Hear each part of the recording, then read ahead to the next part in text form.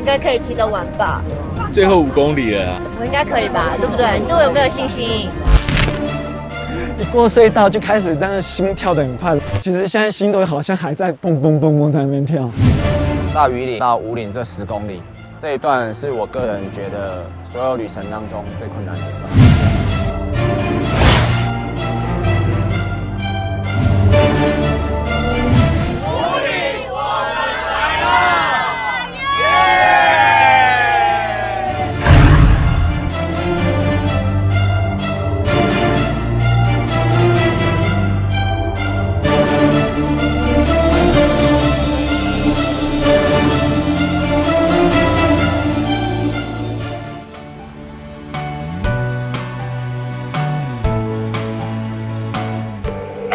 来，伙伴们注意，车队后方有大型游览车接近中，请大家一路靠右，注意安全。这一趟，我们跟着捷安特的电动单车队 e-bike 一起北进乌令，三天两夜，车友总共要骑两百五十二公里。除了长距离远征，高低海拔落差三千公尺，对体力更是一项挑战。在上集中，第一天九十七公里北移完骑，只能算是热身。接下来这两天更严峻的考验，一步步准备来袭。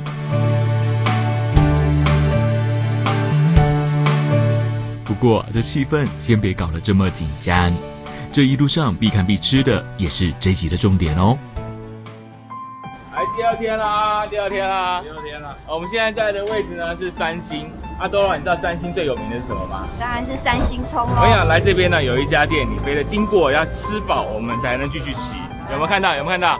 哇！哦，噔来噔噔噔，不理你喽。之前就是有听人家讲过，可是一直都没有，呃，来吃过这个葱油饼。我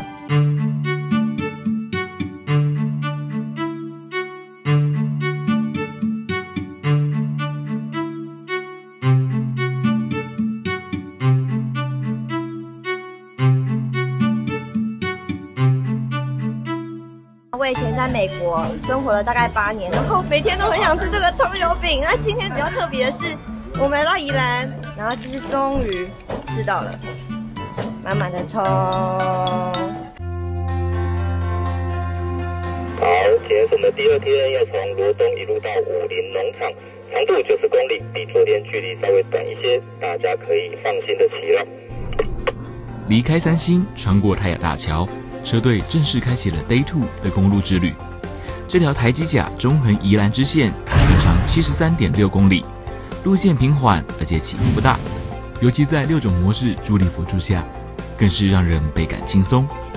从大同经过独立山，开始进入了南山部落，而这里最著名的就是一大片的高丽菜作业区。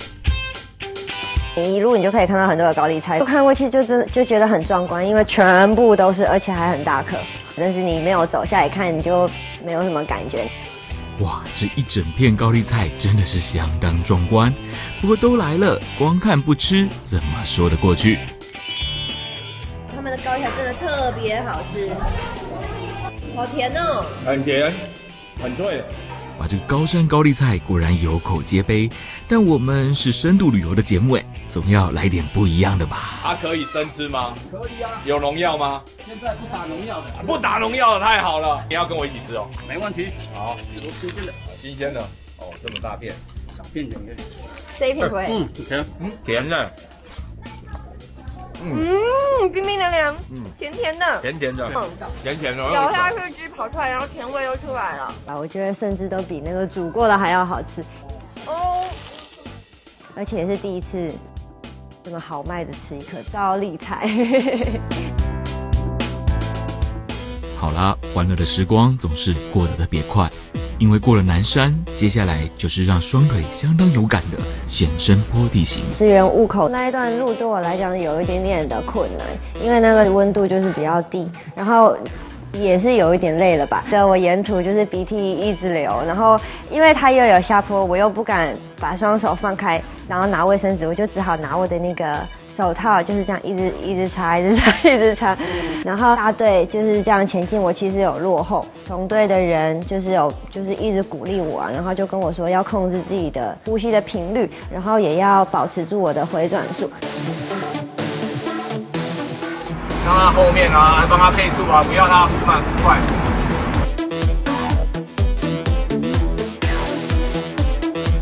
啊，冷冷的，有力吧？有。慢慢的跳，不要再踩快，慢慢的。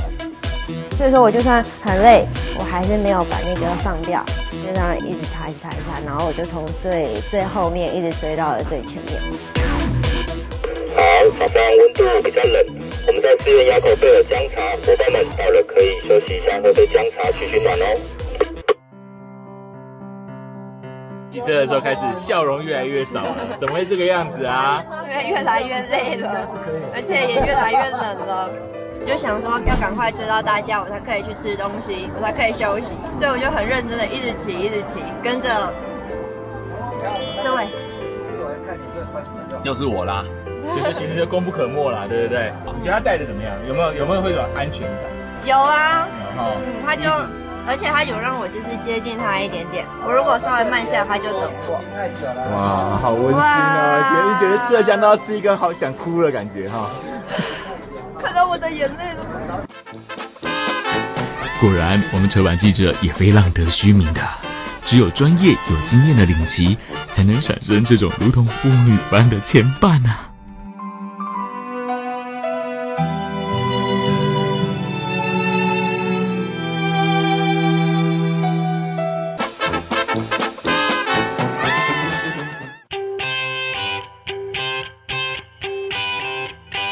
沿着台积甲线，车队来到了武林农场，这也意味着车友已经完成了两天一百八十公里的骑乘挑战。这么大量的运动，然后呢还可以啊，很有余裕的欣赏很漂亮的风景啊。以前骑乘这种距离啊，而且又爬山啊，到这边的话，应该没有办法站在这边采访了吧？居然能够骑脚踏车啊，慢慢看风景，以前想都不敢想。那这个体验是非常非常特别的。武林农场最引人入胜的，莫过于四季缤纷的花季。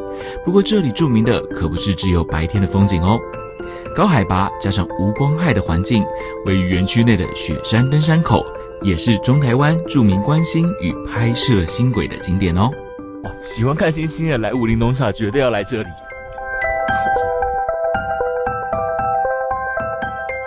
因为今天的月亮实在是太亮了哈，接近满月，所以这个星空效果并不是很好。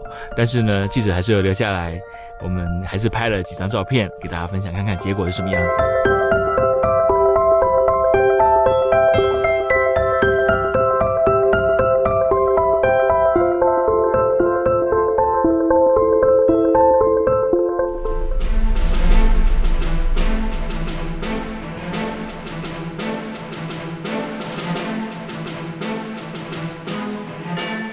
第三天，我较无共款啊！直直去，直直去的有，啊，这真正照伟龙讲讲，啊，要骑公路车要来挑战吼，毋是遐简单的代志。啊，好你加在，我今日都有骑到这电动车呢吼。哎喏，小快小快窜咯！长时间不断重复的踩踏运转，对体力是一大挑战之外。一路的上坡，让不少车友的电动单车开始遇到了电量消耗殆尽的问题。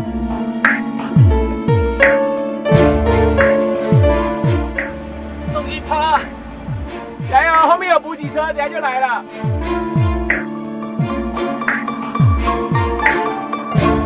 还有一个在等换电池。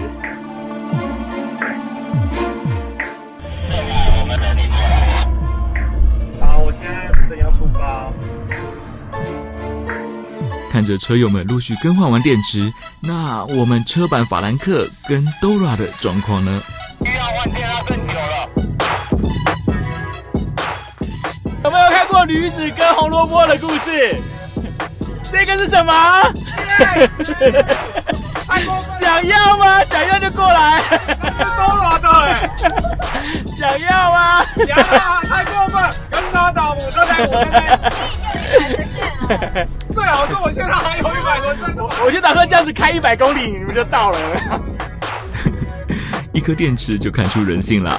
好啦，是看现场气氛有点紧张，出来搞笑一下，顺便缓和大家的情绪啦。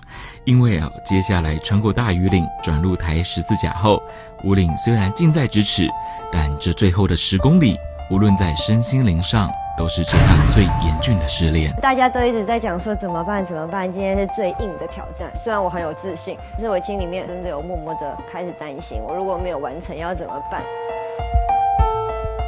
这两分钟后我们就要出发了，我最后给你的机会，要不要上车？那如果会觉得那就不要。你是不是犹豫了一下？其实我真的有想上车，可是我真的是不可以输给我自己。最难的路段，这就是大屿岭到五岭这一段，高海拔、坡度陡，这一段不管是在经费的功能、肌耐力的要求，都是相当的高。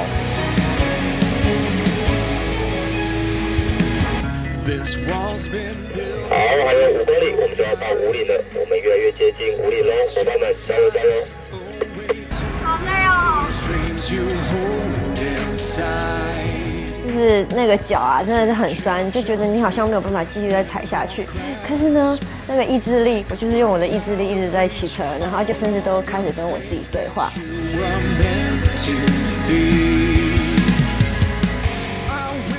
当车队来到了小风口的同时，海拔高度也正式进入了三千公尺。这个时候，距离台湾公路最高点还有最后的五公里，而这五公里还需要爬升至少两百多公尺。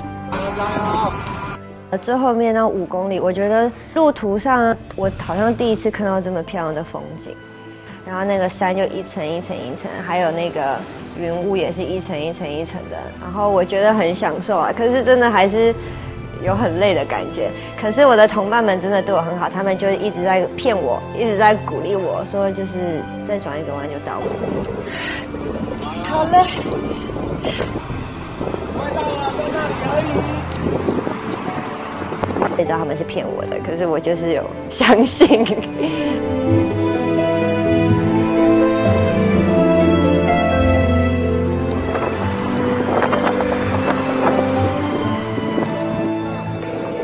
大家完成台湾公路最高点五岭的单车伙伴们恭喜哦！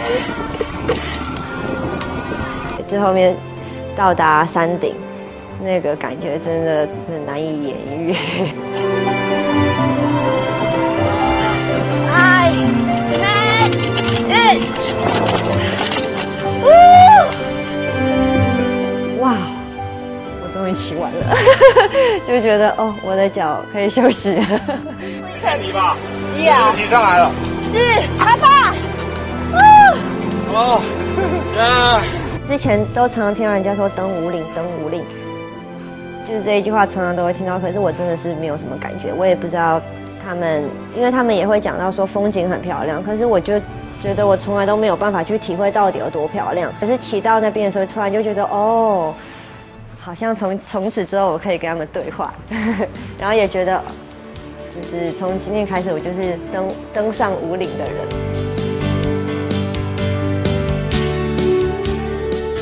Road trip 是一种慢活悠闲的旅游形态，而电动单车的兴起，可说是拉近与台湾最美风景的一种新选择。